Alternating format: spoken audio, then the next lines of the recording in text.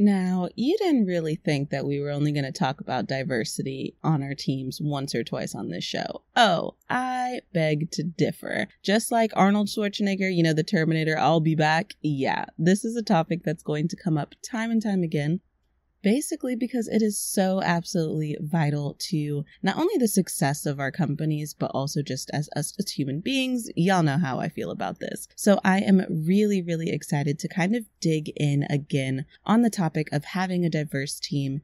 And I want to approach it today from a, you know, competitive advantage uh, perspective. I want to talk to you about the top three benefits that having a diverse team supporting your business actually makes.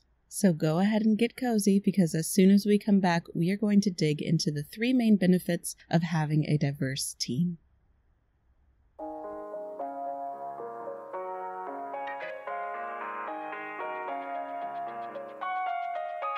Hello, my friend. It's Tianna Tye, Team Dynamics Consultant and trained industrial organizational psychologist, helping you to become a better leader than your last boss. And right now, you are tuning in to the go to podcast for entrepreneurs building and leading teams, hiring, onboarding, management, or maybe you just want some general advice about building your business. Well, let me assure you, you are in the right place. So go ahead, crack open a fresh notebook because you are listening to TyePod. This episode is brought to you by Dream Hire Bootcamp. Whether you're hiring for the first time or the 14th time, your company will benefit from a strategic hiring method. I mean, what if finding your dream hire suddenly became, dare I say it, easy. That's right, DHB is your advanced hiring method to help you choose the right person for the right job, even if you've been burned by a bad hire before. We're talking the perfect integrator, business manager, executive assistant, or even marketing director for your company, all without the overwhelm and drama that usually accompanies some messy hiring. It's definitely possible. Just head to tiannatye.com slash DHB to learn more. Alrighty, so let's get into it, shall we? Because benefit number one is one of the benefits that I find leaders, CEOs everywhere are like, yes, I need this, which is productivity. Of course, this is a huge benefit, but how, why, I got you. According to research, a more multicultural urban environment actually makes US citizens, generally speaking, not even just in the work context, more productive. And that's a really, really interesting phenomenon that I wanted to dig into you with dig into with you, excuse me, today, because diversity, basically what's happening is it's creating two conditions that are known to improve our productivity. So, what are those two conditions? Knowledge sharing and healthy conflict. Let's break those down. Knowledge sharing. So, when it comes to diverse teams, we basically are experiencing a compounded pool of experience and knowledge from which everyone can draw, right? So let me give you an example here. My family is full of artists, right? And uh, none of us are like super professional or famous, but we do all have the artistic tendencies. So, to give you an example here, let's use my own family. So, my sister, let's say she is just, and she actually is, is famous for her graphic design capabilities. My mother is a sculptor. My grandmother was a oil painter. I was a charcoal uh, sketcher. I don't even know if that's the real phrase for it. I draw. And my little brother is a musician, right? Okay, so there's a vast degree of uh, artistic capability going on. And what could be really interesting is to get us all in a room, give us an art project that doesn't really have many bounds or limitations to it, and kind of see how we can take all of our different experiences and draw from each of them to create something new. I would imagine it would be a mixed media masterpiece, right? So, literally, we are sharing these experiences to take a holistic approach to creating something. So, take that analogy, translate it to our teams. We can see how, when different people come with different vantage points, different views on how things can be done, how things should be done, what they've seen in the past, what they've done, uh, you know, working in this industry versus that industry, we have a lot more data basically to pull from to really give us a little bit more to bring to the table as a team. It's a beautiful thing. Now, the second condition we just talked about was healthy conflict. So let's break that one down a little bit.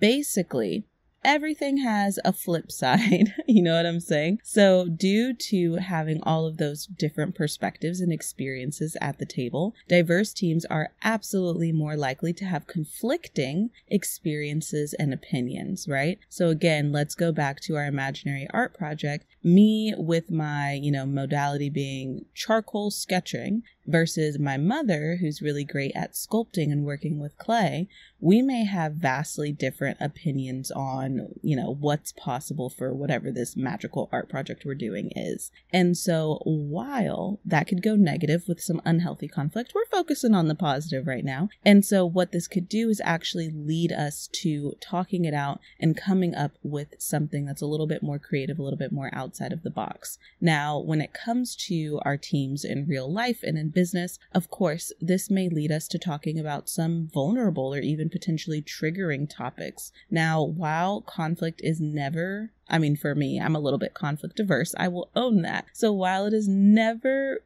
truly fun, it can absolutely be healthy and open up the floor for learning and continued growth. All of which, wrap it back up, leads us to productivity. All right, so now that you're thoroughly convinced on productivity, let's talk about honestly, this may be my personal favorite benefit, which is creativity. Oh, yeah. So I don't know if you've ever like that very middle school, almost mean girls vibes where everyone kind of wanted to look and act and think the same, right? There's like the spirit of conformity that people naturally try to lean towards. And that is the absolute opposite of what we want, right? We don't want those mean girl vibes. We don't want the carbon copies of one another because cloning ourselves honestly is not the answer. What happens whenever everyone on the team comes to the table with the same perspective, the same experiences, is we are only reinforcing blind spots right? If literally, if I took you and made five carbon copies of you and called that your team, what the heck would y'all get done in a day? For me, mm, that would not be cute, right? Like I am the visionary. I have a lot of big ideas. I need help and support on execution and follow through. And so if I was just creating carbon copies of myself in my own company, our follow through game, our execution game would be super, super weak. We do not want to reinforce those blind spots. There's lots of research out there on this topic, and some of it does literally specifically tell us that creativity and innovation have been consistent in showing the value of exposing individuals to experiences with multiple perspectives and worldviews. So it's literally the combination of these various perspectives in novel ways that results in new ideas, quote unquote, popping up, right? That's why diverse businesses were found to be 1.7 times more likely to be innovation leaders in their market. Okay. Again, opposite of mean girl vibes, opposite of cloning ourselves and creating carbon copies that reinforce our blind spots. It's literally about inviting in that nuance of multiple perspective into our company. I will say it till I'm blue from the face. Diversity drives creativity, period. All right, so we are saving the last, definitely not the least, and it is profit. No surprise here, profit absolutely matters to many of us. And when we're expanding in our team, investing in tech, funding new projects, like all of this is literally made possible by our profit.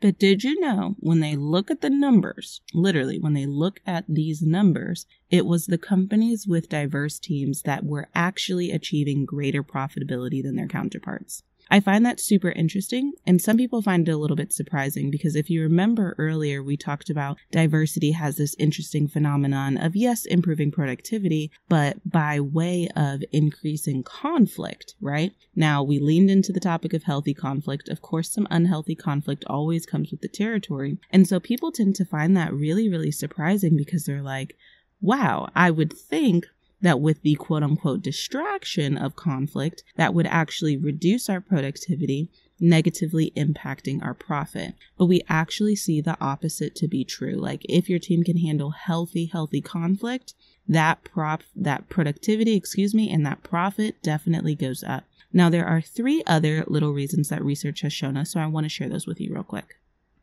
Okay, so from a client perspective, there's this uh, phenomenon called affinity bias, which is basically like as human beings, we like to connect with other people who feel similar, which is so ironic considering that we're talking about diversity and the total opposite of that. But bear with me here. Long story short, we want our teams to also be reflective of the communities that we are serving, right? And so by having a diverse team, you are basically increasing the likelihood that your client, your customer base is going to have a an energy, a personality, a spirit, right? Like, let's get a little boo here, that they feel more connected to amongst your team. Now, even if you are the only person that's client facing, this can still come through again with that with that little bit of woo. This can still come through energetically by having someone on your team who shares a perspective and can make sure that that perspective is infused in some of the ways that you guys are kind of moving through this world. So I thought that one was kind of interesting it's something that a lot of people don't think about when they think about profit. But yeah, people like to connect and we like to give people money who share similarities. And so your team just kind of adds a little bit of dimension and complexity to what your company brings to the table, basically. All right. Another one, speaking of your team, is really attracting top talent. Diverse teams, bottom line, tend to attract top talent, and top talent obviously leads to better business and better business leads to increased profits. I feel like it's kind of self explanatory. And so once we have that top talent, those A players, this diverse group of thought and experience coming to the table, our decision making improves. Yes. So there is actual research that shows that diverse teams make better decisions faster. Okay. So again, like let's go back to that conversation around conflict. We still got some conflict thrown in there, but the decision that gets made in the end is a lot better, right? And and obviously that gives a major advantage over competitors, which leads to better results and ding ding ding, you got it, more profit. All right, my friends. So, what do you think? We have covered the top three benefits of having a diverse team our productivity, our creativity, and our profit.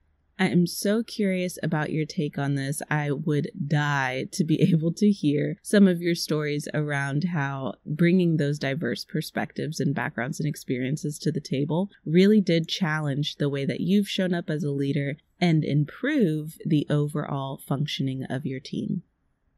As you go about leading and living in the world, I want you to continue to think about your own company. Is it diverse? And if it's looking a little bit too much like a mean girl situation where we all wear pink on Wednesdays, and what are you going to do to change that? All right, my friend, I hope this episode left you with a couple of gems and with some things to think about and really, really take action on. I will see you on the next episode of TyePod.